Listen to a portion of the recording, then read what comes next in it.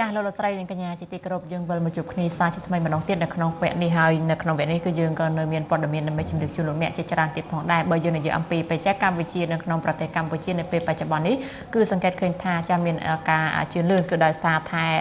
ចំពោះបើយើងនិយាយអំពីផ្ដោតទៅលើការតំណែងតំណងតាមរយៈចាប្រព័ន្ធនៃការប្រាស់ប្រាស់ប្រព័ន្ធទូរស័ព្ទវិញគឺពីមួយថ្ងៃទៅមួយថ្ងៃគឺសង្កេតឃើញថាបងប្អូនប្រជាប្រដ្ឋខ្មែរនឹងគឺប្រើប្រាស់នឹងគឺកាន់តែងាយស្រួលកាន់តែទូលាយដោយក្នុងនោះចាប្រជាប្រដ្ឋខ្មែរជាង8លាននាក់គឺកំពុងតែប្រើប្រាស់ទូរស័ព្ទនៅក្នុងសម័យដេជោអេដាមសុខុនរដ្ឋមន្ត្រីក្រសួងប្រៃសណីទូរគមនាគមន៍បានថ្លែងនៅក្នុងពិធីសម្ពោធដែលប្រើប្រាស់មន្ទីរប្រៃសណីទូរគមនាគមន៍ខេត្តកំពង់ឆ្នាំងនៅរសៀលថ្ងៃទី11ខែមិថុនាឆ្នាំ2013ថាប្រជាពលរដ្ឋកម្ពុជាបច្ចុប្បន្នជាង8លាននាក់កំពុងតែប្រើប្រាស់នៅទូរស័ព្ទនិងមានលេខទូរស័ព្ទជាង20លានលេខកំពុងតែដំណើរការនៅពេលបច្ចុប្បន្នដែលនេះគឺជាការរីកចម្រើនជឿនលឿននៅក្នុងសម័យដេជោសែន ជានាយករដ្ឋមន្ត្រីនៃព្រះរាជាណាចក្រកម្ពុជា វិស័យទូរគមនាគមន៍និងព័ត៌មានវិទ្យាកំពុងតែរីកចម្រើនគួរជាទីមោទនៈនៅកម្ពុជា គឺមិនចាញ់នៅប្រទេសជិតខាងឡើយដែលប្រជាប្រដ្ឋយើងនៅពេលបច្ចុប្បន្ននោះគឺភាគច្រើននៅក្នុងម្នាក់ម្នាក់ការប្រើទូរស័ព្ទរបស់ពួកគាត់នោះគឺមិនតិចចាប់ពី2ទៅឬក៏3ឬក៏4ប្រព័ន្ធដែលតាមការបូកសរុបស្ថិតិរបស់ក្រុមហ៊ុនទូរស័ព្ទទាំង8នៅក្នុងប្រទេសកម្ពុជា ដែលមានអ្នកប្រើប្រាស់ទូរស័ព្ទជាង8លាននាក់ចេះតែលេខដែលកំពុងតែប្រើប្រាស់នោះគឺមានជាង20លានលេខឯណោះ ក្នុងនោះក៏មានការប្រាស្រ័យតាមសេវាកម្មអ៊ីនធឺណិតដែលកំពុងតែរីកចម្រើនដ៏ខ្លាំងផងដែរលោកច័ន្ទផលដែលជាប្រធានប្រៃសណីនិងទូរគមនាគមន៍ក៏បានឲ្យដឹងដែរថាមន្ទីរថ្មីនេះគឺមានបណ្ដោយ21ម៉ែត្រនិងទទឹង6ម៉ែត្រ9ម៉ែត្រ សាងសង់ដោយក្រុមហ៊ុន Masteris ចាស់ Mastervis តាមរចនាបថខ្មែរសិតសាតកសាងដោយបេតុងអាមេជញ្ជាំងឥដ្ឋដំបូលប្រក់ក្បឿងកម្ពស់2ជាន់ចាប់ផ្ដើមកសាងនៅក្នុងខែកក្កដាឆ្នាំ2012និងបើរួចរាល់នៅក្នុងខែមិថុនាឆ្នាំ2013ខាងមុខនេះហើយក៏សូមបញ្ជាក់ផងដែរថានៅក្នុងខេត្តកំពង់ឆ្នាំងសប្តាហ៍ថ្ងៃនេះគឺមានក្រុមហ៊ុនទូរស័ព្ទចាស់អចល័តគឺមានចំនួន2ក្រុមហ៊ុន និងទូរស័ព្ទចល័តនោះគឺមានចំនួនចំនួនចាស់6ក្រុមហ៊ុននិងមានក្រុមហ៊ុនផ្ដល់សេវាកម្មអ៊ីនធឺណិតជាច្រើនទៀតព្រមទាំងមានបណ្ដាញចាស់កម្មកម្មផ្លេអុបតិកពីពេញខេត្តផងដែរចា៎គឺថាទូរស័ព្ទគឺគាត់យើងប្រើច្រើនកម្រិតតម្លៃមិញគឺប្រហែលជាង8លាននាក់8លាននាក់កំពុងប្រើប្រាស់កំពុងប្រើប្រាស់ហើយបើនិយាយពីរឿងលេខវិញគឺ20លាន20លានបាទនៅនាងពូឡែនមានប្រមាណប្រព័ន្ធខ្ញុំមានតែមួយទេមួយតែមួយហើយគឺសម្រាប់ច្រើនកញ្ញាមលីសមានប្រមាណខ្ញុំមួយដែរនឹងនិយាយតាមត្រង់សិតបាទតែមួយមួយខ្ញុំសម្រាប់3ចាបាទបាទ ខ្ញុំ012 097 010ហ្នឹងហើយចា010អញ្ចឹងមកថាចំនួនលេខគឺច្រើនហើយចំនួនទូរស័ព្ទក៏មិនតិចទេ8លានជាងហើយគេឃើញថាសម្បីប្រជាកសិករចាំបានទេកាលពីអំឡុងសម្ដេចលោកបាន បំពេញ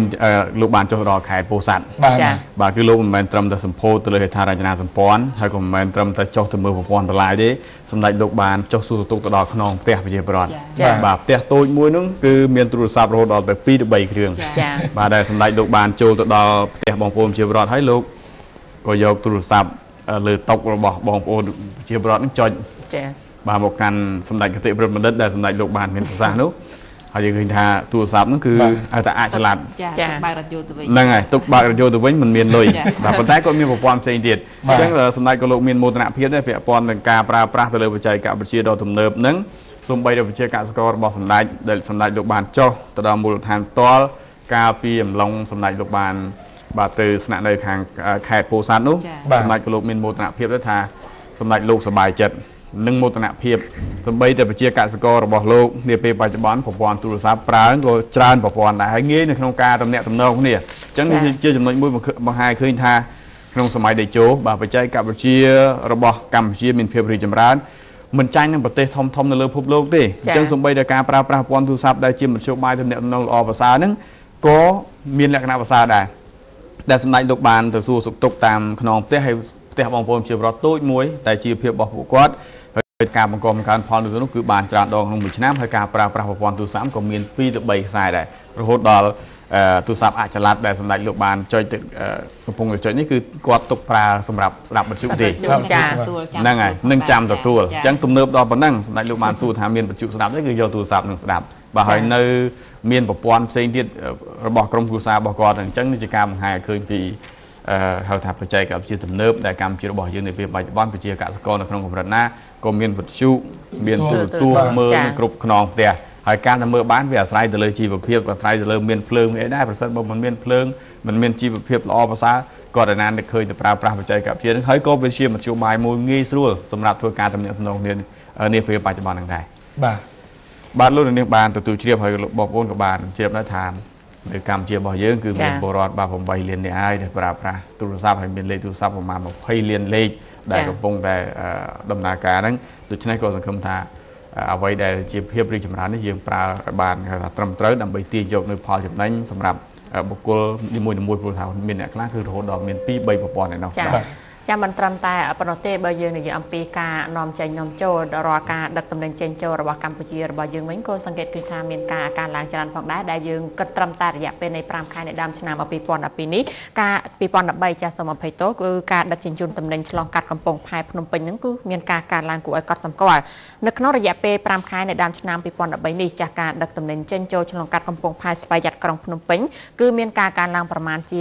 29%បើយើងធ្វើការទៅអឺប្រៀបធៀបទៅនឹងរយៈពេលដូចគ្នាកាលពីឆ្នាំមុនៗនោះតួលេខពីកំពង់ផែស្វយ័តក្រុងភ្នំពេញហ្នឹងគឺបានឲ្យដឹងផងដែរថាចំពោះការដឹកជញ្ជូនទំនិញឆ្លងកាត់កំពង់ផែស្វយ័តក្រុងភ្នំពេញនៅក្នុងរយៈពេល5ខែនៃដើមឆ្នាំ2013នេះគឺមានចំនួន4251 TEU គឺកើនឡើងប្រមាណជា29%បើត្រូវធ្វើការប្រៀបធៀបនឹងទៅនឹងរយៈពេលដូចគ្នាកាលពីឆ្នាំមុនដែលក្នុងនោះគឺមាន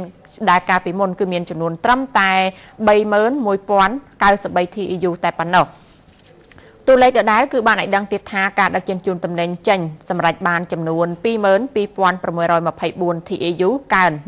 28%ខណៈដែលការដឹកទំនិញចូលវិញសម្រាប់បានចំនួន17,627 TEU កើនឡើង31%បើធៀបទៅនឹងអំឡុងពេលដូចគ្នាកាលពីឆ្នាំមុននោះចំពោះការចរាចរណ៍ទំនិញគិតជាតោនបានកើនឡើងប្រមាណជា30%ពលគឺកើនពីចំនួនជាង22,000តោនទៅដល់ជាង28,000តោន គួរបញ្ជាក់ផងដែរថារាល់ទំនិញដែលដឹកជញ្ជូនឆ្លងកាត់ទៅតាមកំពង់ផែអឺនេះផងដែរគឺភាគច្រើនចាស់គឺជាផលិតផល គឺមានដូចជាសម្លៀកបំពាក់ចាស់វិញ្ញាណភ័ណ្ឌកាត់ដេរមានអឺគ្រឿងសំណង់និងអឺផលិតកម្មកសិកម្មជាដើមជាពិសេសនោះគឺអង្ករតែម្ដងបាទពេលនេះប្រកម្មទីសូមពេលវេលាសម្រាប់បន្តិចសិនហើយយើងជួបគ្នានៅវគ្គបន្ត